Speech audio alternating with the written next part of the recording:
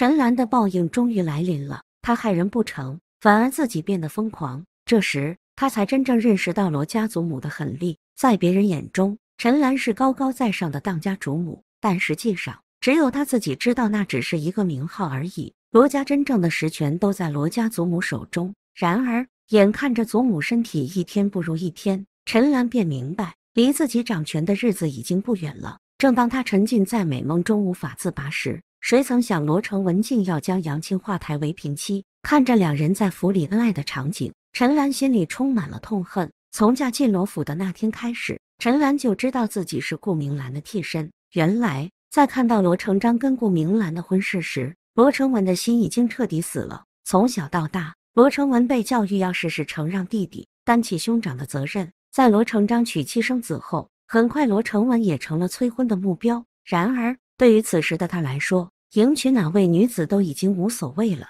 而陈兰之所以能进府，也只不过是因为她和顾明兰的名字里都有一个“兰”字，也因此，罗成文一直喊她“兰兰”。本以为这是对自己的爱称，可直到看见顾明兰的那一刻，陈兰很快便意识到自己从头到尾都是一个替身。为了报复他们的所作所为，陈兰故意找人提取河豚的毒素。将它跟茶叶混合在一起之后，更是借着罗成文的手送出去。果然，不出他所料，没过多久，顾明兰便在家中身亡了。正当陈兰准备故技重施之时，谁成想最后中毒的人竟然是他自己。不过好在医治及时，这才没有酿成大错。可即便如此，陈兰还是损害了神智，成了人尽皆知的大傻子。而这一切都被罗怡宁看在眼里，觉得这其中必有蹊跷。在罗慎远的帮助下，很快他便查明了这背后的真相。原来，当年真正害死顾明兰的人是祖母。为了就是避免罗家兄弟之间的隔阂，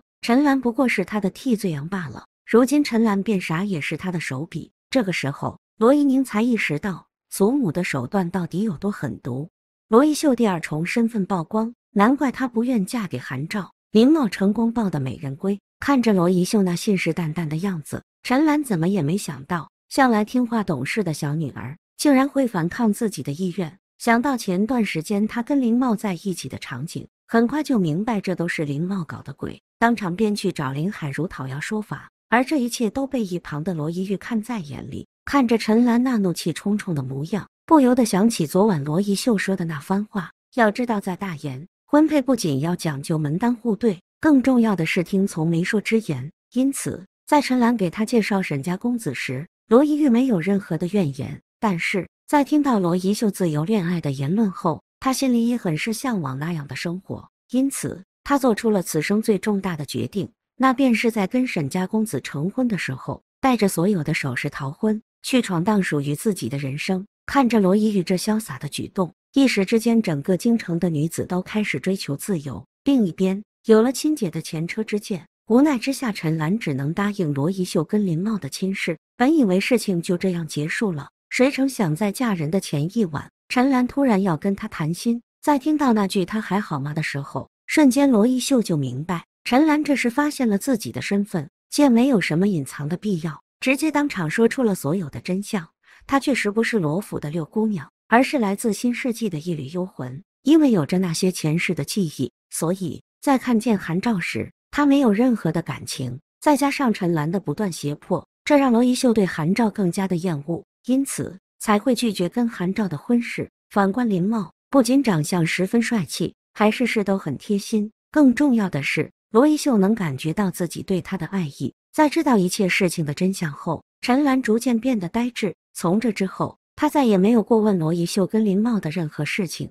罗慎远婚后性情大变，罗一宁跪在床上求放过。谁知祖母为了早点抱孙子，竟然瞒着两人送上糊糊酒。罗一宁这下遭大罪了。对于罗慎远来说，罗一宁是他可以付出生命的爱人，他为了自己甚至可以去死，是经历生死的挚爱。当陆家学拿罗一宁做诱饵，他为了保住三哥，宁愿去死也不愿让三哥为他受到伤害。罗慎远没有想到，他一个那样的弱女子，竟然比男子都烈性，所以在和英国公联手成功之后。第一件事情就是求娶罗怡宁，他不想再等待了，也等待不了了。毕竟有着陆家学这样一个疯子，时刻逼迫着罗怡宁，抱着罗怡宁救圆房了，享受鱼水之欢。但是因为罗慎远太过于心急，就是房门都忘了关，导致罗一宁的声音响彻整个庭院。所有人都知道这一夜七姑娘和罗慎远圆房了。而祖母听到声音后直呼好，她以为罗一宁回到英国公那后，从此就不会再回来，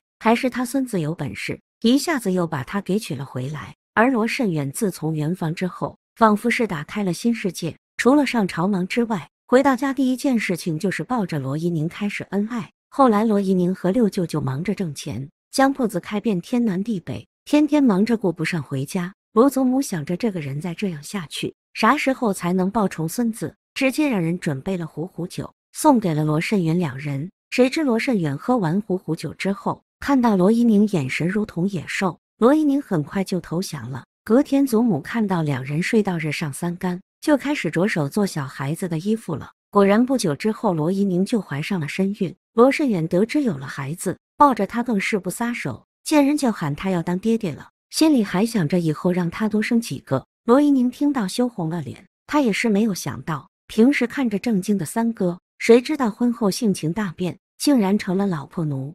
最新剧情太劲爆了！罗一宁发现陈兰毒杀顾明兰的事情引起很大风波，这戏太好看了，看得我日夜颠倒，饭都顾不上吃。事情起因是陈兰的大儿子罗怀远之死，本来这是跟顾明兰没关系，谁知陈兰听信了顾明兰推荐的庸医，结果害死了罗怀远。陈兰心里的怨恨像定时炸弹。随时可能爆发。还有个叫乔月婵的在背后搞鬼，为了对付大房，乔月婵让罗怀远死了，还让陈兰去对付顾明兰。这招真狠！乔月婵是借刀杀人的好手。乔月婵这人野心很大，他的计划不只是挑拨离间，还想让儿子罗轩远得利。这女人挺狡猾的，连罗怡宁的出生秘密都知道，想用这个来损害罗怡宁的名声。我跟你说，乔月婵真不是一般人。他算计了陈兰和顾明兰，现在又盯上罗怡宁，这人怎么这么阴险？为了自己利益，连亲人都不放过，真是让人害怕。罗一宁这次真是赢了。他是怎么发现这些秘密的？据说是从一些小线索开始的，比如他发现陈兰在提到罗怀远时神色不对劲，还有乔月婵和罗轩远之间有些奇怪的眼神交流。罗一宁确实挺聪明，他一步步查下来，把那些不相关的线索连起来了。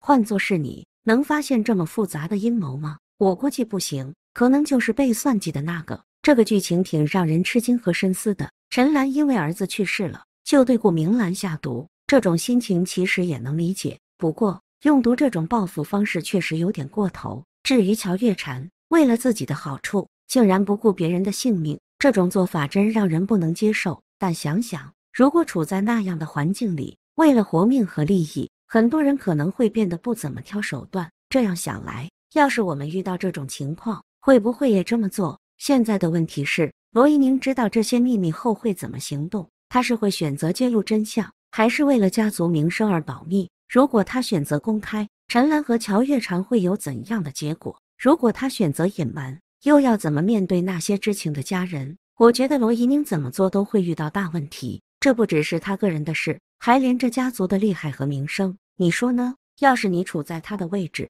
会怎么办？不得不说，这部剧真挺吸引人的，每集都悬疑重重，每个人心里都有自己的打算。看完之后，我开始怀疑身边的人了，不知道他们背后有没有藏着什么见不得人的事情。《锦绣安宁》这部剧让我们想了很多，它不只是讲家庭关系的剧，更像是反映了人性复杂和社会现实的一面镜子。看完了。你是不是也有点感同身受？反正我是挺受触动的，心里一直不平静。